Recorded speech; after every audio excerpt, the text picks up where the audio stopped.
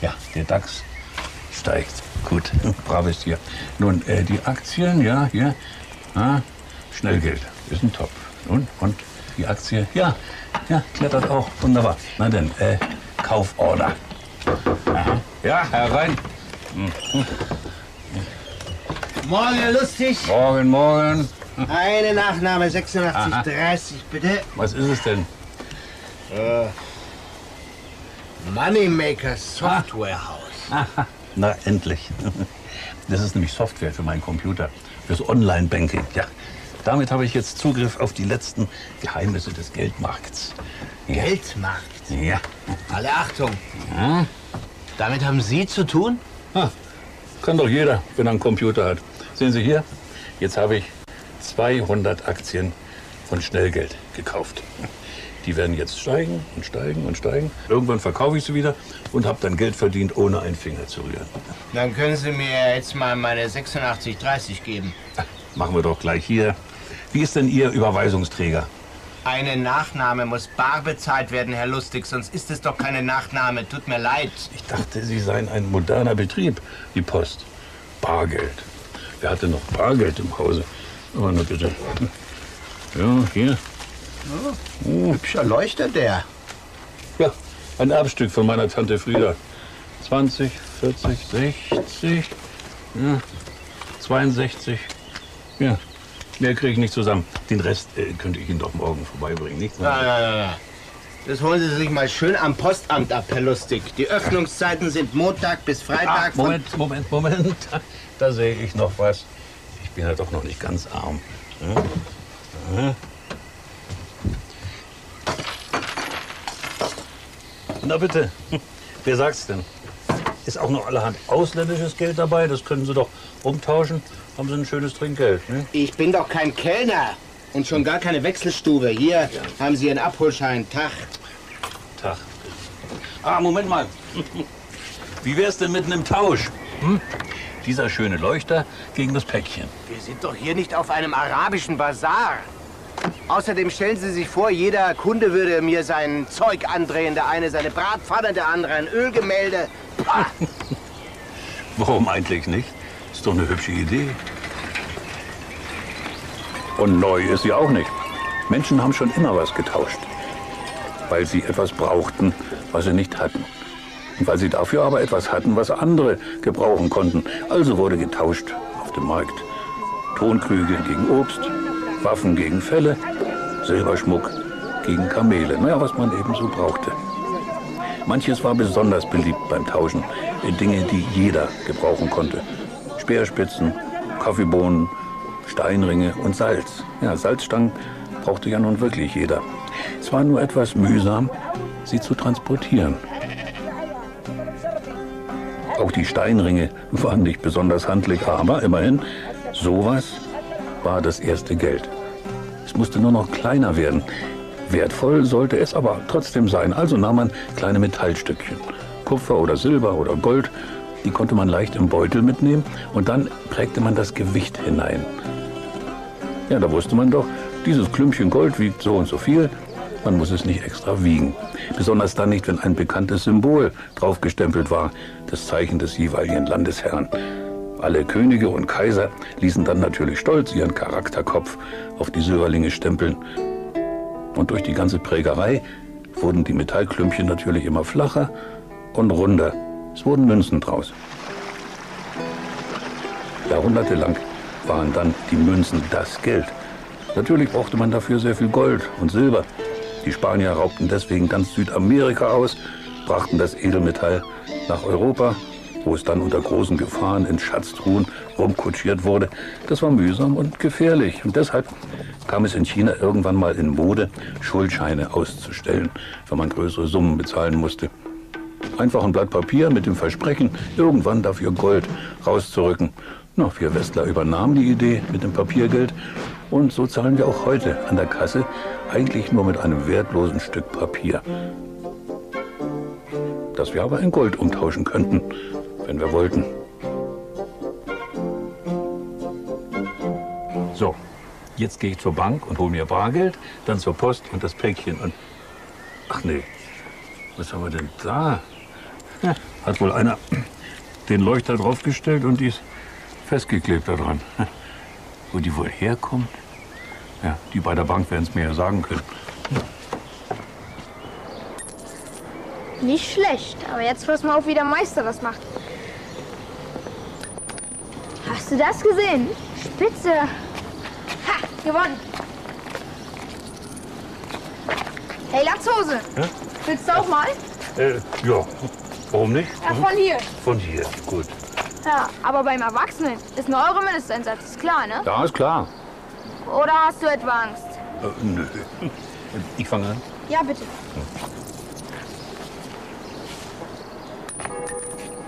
Hm, Nicht schlecht. Mhm. Jetzt du. Gewonnen. Wie wär's mit einer Revanche? Wenn wir den Einsatz verdoppeln und du gewinnst, hast du dein Geld zurück. Ja, klingt gut, aber du, ich muss weiter. Na gut, tschüss. Wollen wir weiterspielen? Ne.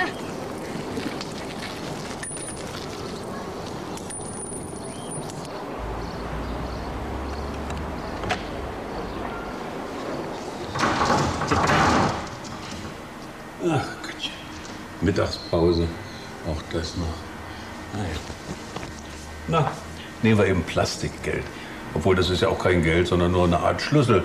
Damit komme ich an mein Konto ran. Und das Konto hm, ist auch nur eine Zahl, die sagt, wie viel Geld ich habe. Aber das kann ich mir ja nun auszahlen lassen, notfalls hier irgendwo. Das, äh, ah, hier, Auszahlung. Ja. Dahinter sitzt ein Lesegerät. Das kann diesen Magnetstreifen lesen und dann weiß das Ding hier, dass ich Kunde bin. Nicht? Ne? Holen wir mal. Ja. So.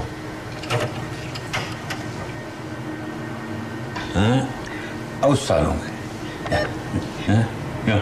Was werde ich brauchen? 300 Euro. Ja. Die Geheimzahl, klar. Ne? Jeder, der eine Karte hat, braucht auch eine Geheimzahl.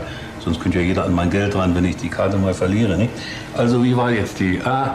Quadratwurzel von meinem Geburtstag, das wäre die 3. Die ziehe ich ab von meiner Schuhgröße, 44, 41 und meine Glückszahl sind 7. Also 3, 4, 1, 7. ja. Ihre Eingabe wird bearbeitet, haben Sie ein wenig Geduld? Das, das kann doch wohl nicht wahr sein. Das, Ihre Karte wurde einbehalten. Das, das gibt's doch nicht. Das, hier ist, bitte sprechen Sie bei Ihrer Bank vor. Ist das nicht der Herr Lustig? Hier sprechen, da ist ja, ist ja keiner da. Funktioniert nicht. Irgendwas ist hier. Hallo? Ja.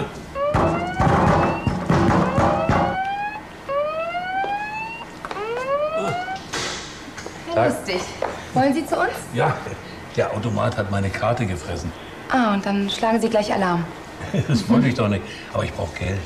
Na gut, dann kommen Sie mal mit. Die Mittagspause ist eh in einer Minute rum. Schön. Aber deswegen gleich Alarm? Naja, die Bank muss sich ja schützen vor allerhand Gangstern. Inzwischen soll es sogar Automaten geben, in die man seine Karte steckt und dann, dann wird man beobachtet. Hinter diesen Lämpchen steckt aber kein Kommissar, auch kein Fotograf, sondern eine Maschine, die sich Gesichter merken kann. Ein Computer natürlich. Und der soll sich jetzt dieses Gesicht merken. Ja, macht er auch. Er notiert sich zum Beispiel den Augenabstand oder die Position der Nase. Und wo er gerade dabei ist, merkt er sich auch noch die Fingerabdrücke des Fräuleins. Naja, das kennt man ja. Jeder Mensch hat ein anderes Linienmuster. Dies hier gibt's nur einmal auf der Welt. Auch unsere Augen sind einmalig. Die Iris, das Kornblumenblaue oder Rehbraune oder sonst was Muster um die Pupille herum, das ist einmalig. Also scannt der Computer auch noch die schönen Augen der Dame. Ja, das dauert eine Weile. Werden verarbeitet. Mhm. Und dann werden die Biodaten, so nennt man die, von der Frau Hoffmann auf einer Karte festgehalten. Ihr Gesicht, die Einzelheiten ihres Fingerabdrucks und das ganz besondere Muster ihrer Augen. Tja, und dann muss sie nie wieder sich eine Geheimzahl merken. Sie steckt einfach ihre Karte in den Geldautomaten und lächelt ihn an. Na, ob das funktioniert? Der Apparat überlegt noch. Na, also ich hätte sie schon längst erkannt. Aber wir sind nun mal, was das angeht, tausendmal besser und schneller als die besten Computer. Aber ja, na bitte, er hat sie erkannt. Wie sieht's denn mit dem Fingerabdruck aus? Ist sie selbst oder ist sie womöglich eine Betrügerin? Ja, na, die wichtigsten Linien werden verglichen mit den Daten auf der Karte und ja, sie ist es. Das ist die Frau Hoffmann und die kriegt ihr Geld. Nur ich habe vorhin keins gekriegt. Äh, Was ist denn da schiefgelaufen? Also meine Karte ist weg, weil ich mein Konto überzogen habe. Um mehr als 7000 Euro. Sehen Sie mal hier. Sie haben 2000 Anteile der Aktie Schnellgeld erworben. Nein, nein, nein, nein, Das kann nicht sein. Es waren nur 200. Der Briefträger war dabei. Herr Lustig, das ist hier für uns nicht nachvollziehbar. Allerdings ist natürlich auf dem Computer schnell mal eine Null mehr gedrückt. Ja, was machen wir jetzt? Ich würde Ihnen ganz dringend raten, wieder zu verkaufen. Ja, gut, verkaufen Sie. In Ordnung? Aber es wird nicht gerade billig für Sie. Beim Verkauf der Aktien macht man natürlich Verluste und außerdem, Außerdem was? Schnellgeld ist im Moment im Abwärtstrend. Wir müssen also schnell handeln. Ja, dann handeln Sie. Leider bleibt Ihr Konto, bis das Geschäft vollkommen abgeschlossen ist, gesperrt. Ach, auch das noch. Ah, Moment. Noch bin ich nicht am Ende hier. Das ist aus meinem Sparschwein. Hm? Können Sie mir das äh, wechseln? Also hier die alte D-Mark-Münze, die können Sie natürlich an der Kasse wechseln. Aber das ganze andere ausländische Kleingeld, das ist hier im Inland leider nichts wert. Ach, wieso nicht? Schauen Sie mal. Hier diese Münze ist aus Uruguay. Wenn wir sie erwerben, müssen wir sie nach Uruguay schicken, um sie in Euro zu tauschen. Aber der Transport ist natürlich teurer als die Münze selber. Ah, ja, ja. ja. Aber, ah, Moment. Ich habe noch was. Was halten Sie denn von dieser Münze hier? Die ist ja uralt. Tut mir leid, da muss ich passen. Aber wir haben eine Münzausstellung. Versuchen Sie es doch da mal. Ah ja, gut. Danke. Und ich kümmere mich so lange um Ihre Aktien. Sehr schön.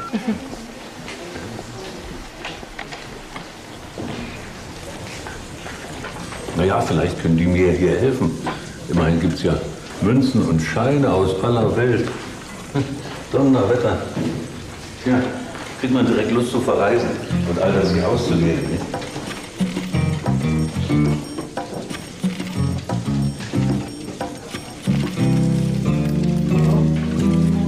Wir reisen um die Welt mit den Taschen voller Geld. Doch kaum betrete ich das Land, ist meine Währung unbekannt.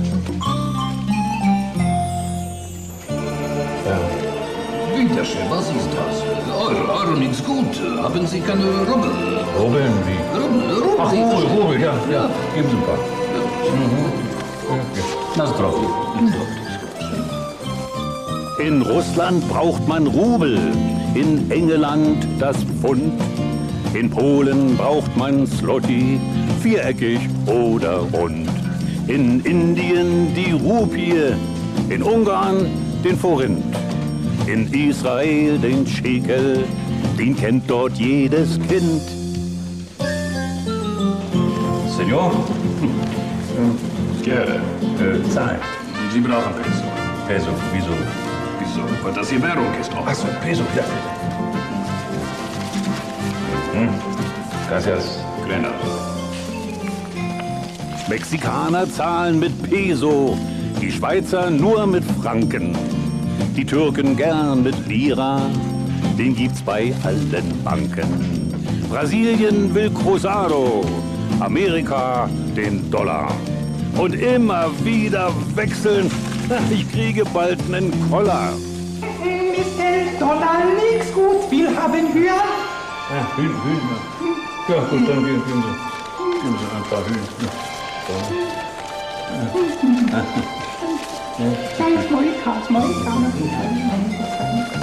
Hyan, Taka, Bir, ha, Toa, Halalas. Immer wieder tauschen, das macht doch keinen Spaß. Piaster in Inti, Inti dann in Pfund, das Pfund zurück in Kiat. Die Hände sind schon wund.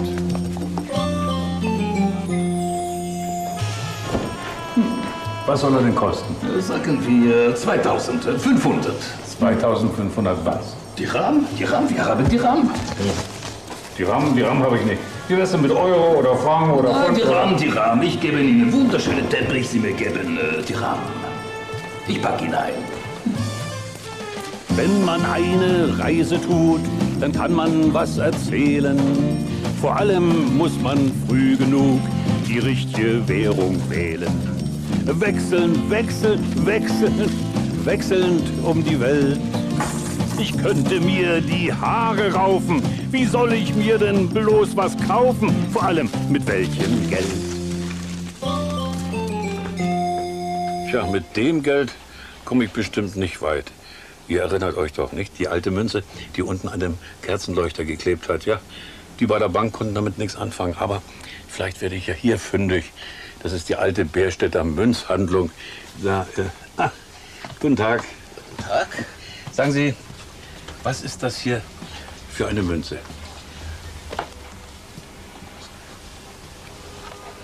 Oh, Sie sind ein Glückspilz.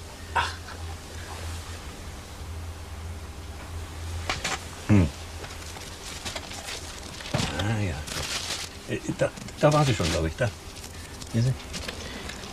Japanische Shogun-Münze. Frühes 17. Jahrhundert.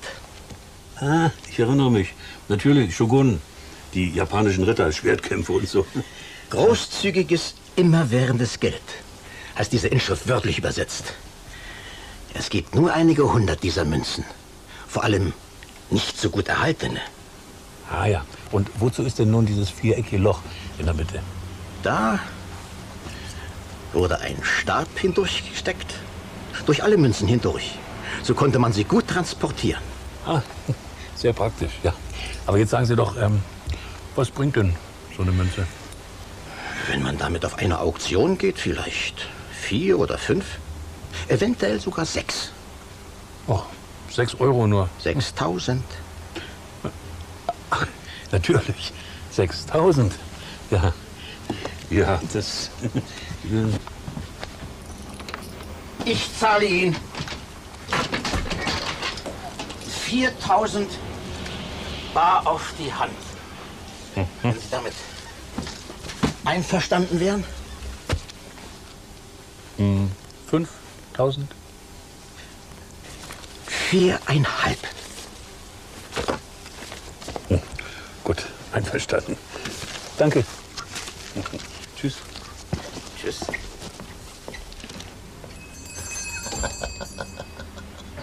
Tschüss, Tschüss. Hey, du machst mit? Ja? Ach so, Ja, komm. Ja. na gut. Hier ist mein Einsatz. Du bist dran. Na was denn? Traust du dich jetzt nicht? Äh, nee, wieso? Na, dann mal los. Ja, nicht schlecht. Hey, du hast gewonnen, Mann! Ah, geschenkt. Kauft euch ein Eis dafür. Ich hab genug davon. Ist der irre? Ist der überhaupt echt? Na was? Die denkt doch nicht etwa, dass ich Geld fälsche. Mache ich natürlich nicht. Aber wenn ich's wollte, wie müsste ich's denn anstellen? Ich müsste erstmal so eine Pampe aus Baumwollfasern haben und dann die trocknen und bleichen. Dann hätte ich Banknoten, Spezialpapier. Ja, ganz geheime Zusätze müsste ich noch dazu mischen. Immer wieder kontrollieren. Und mischen. Und nochmal kontrollieren.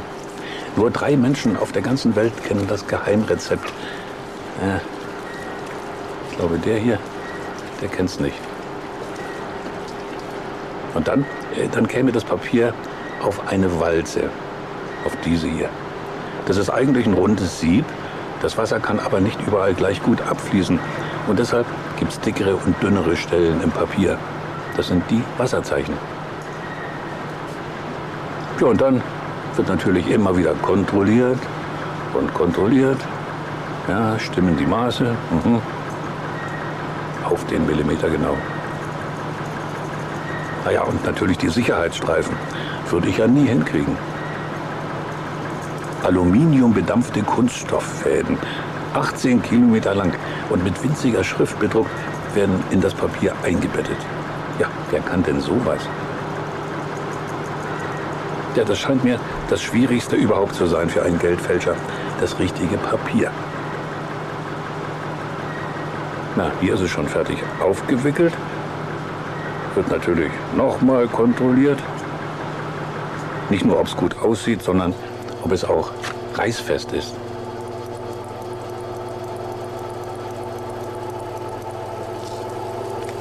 Mhm. Und knickfest. Fast 4000 Mal muss man es knicken können, bis es zerbröselt. Ja?